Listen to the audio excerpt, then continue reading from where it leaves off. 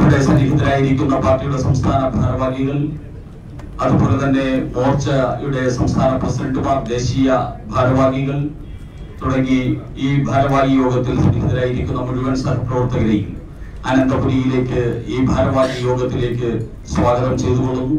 അതോടൊപ്പം തന്നെ ഇവിടെ സന്നിഹിതരായിരിക്കുന്ന മാധ്യമ സുഹൃത്തുക്കളെയും ക്രിയാത്മകമായിട്ട് ഭാരതീയ ജനതാ പാർട്ടിയുടെ നയങ്ങൾ ജനങ്ങളിലേക്ക് എത്തിക്കുന്നതിന് വേണ്ടിയുള്ള എല്ലാ സഹായ സഹകരണവും പ്രതീക്ഷിച്ചുകൊണ്ട് മാധ്യമ സുഹൃത്തുക്കളെയും സ്വാഗതം ചെയ്തുകൊണ്ട് ഞാൻ എന്റെ വാക്കുകൾക്ക് വിരാമം കുറിക്കുന്നു. എല്ലാവർക്കും നമസ്കാരം.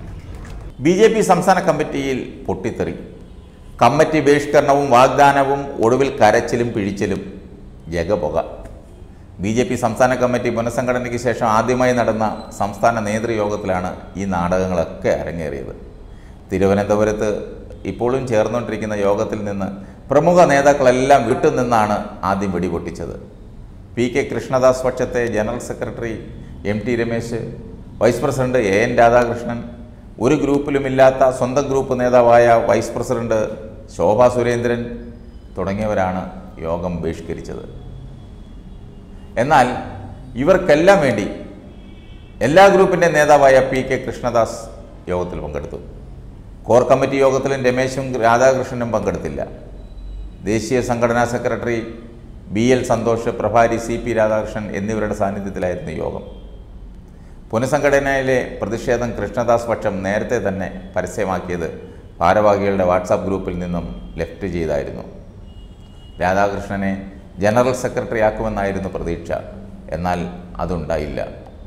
ശോഭയെ ദേശീയ നിർവാഹക സമിതിയിൽ നിന്ന് ഒഴിവാക്കുകയും ചെയ്തു. ഇന്ധനവില വർധന പ്രവർത്തകരെയും നേതാക്കളെയും പ്രതിസന്ധിയിലാക്കുന്നുവെന്ന് യോഗത്തിൽ ഭാരവാഹികളെല്ലാം പരാതിപ്പെട്ടു. പ്രവർത്തനത്തിന് ഇറങ്ങുന്നിടത്തൊക്കെ പെട്രോൾ ഡീസൽ ഗ്യാസ് വില വർധനവ് പറഞ്ഞ് ജനങ്ങൾ ഓടിക്കുകയാണ്. പലയിടത്തു നിന്നും അടികൊള്ളാതെ രക്ഷപ്പെടുകയാണെന്നും പലരും പറഞ്ഞു. വിലവർധന താൽക്കാലികമാണെന്നും ഉടനെ പരിഹാരം കാണുമെന്നും general secretary B L Santhosh വ്യക്തമാക്കി. കേരള ബി ജെ പിയിൽ നടക്കുന്നതൊക്കെ ദേശീയ നേതൃത്വത്തിന് ബോധ്യമുണ്ടെന്നും അച്ചടക്ക ലംഘനം അനുവദിക്കുന്നില്ലെന്നും സന്തോഷ് പറഞ്ഞു. പാർട്ടിയെ നന്നാക്കാൻ എന്ന പേരിൽ നേതൃത്വത്തിനെതിരെ പ്രസ്താവനകളും സമൂഹ മാധ്യമ പോസ്റ്റും പ്രചരിപ്പിക്കുന്നത് ദുരുദ്ദേശപരമാണെന്നാണ് ഇദ്ദേഹം പറയുന്നത്. ഇത്തരക്കാരെ നിരീക്ഷിക്കും. നേതാക്കൾ സംഘടനാ പ്രവർത്തനത്തിൽ മാത്രം ശ്രദ്ധിച്ചിട്ട് കാര്യമില്ല. മറ്റ് സംസ്ഥാനങ്ങളിൽ നേതാക്കൾ ജനകീയ മുന്നേറ്റങ്ങൾക്ക് നേതൃത്വം വഹിക്കുന്നു. അതുകൊണ്ടാണ് അവിടെ ബി വളർന്നത്. ജനകീയ പ്രശ്നങ്ങളിൽ ഇടപെട്ട് വേണം നേതാക്കൾ മുന്നേറാൻ. കൊള്ളാം. സന്തോഷിന്റെ അഭിപ്രായം എല്ലാം കൊള്ളാം. പക്ഷേ ആ പരിപ്പ് ഈ കലത്തിൽ വേവത്തില്ല. ഏറ്റവും വലിയ ജനകീയ പ്രശ്നം ഇവിടെ ഇന്ധന ഗ്യാസ് വിലക്കയറ്റമാണ്.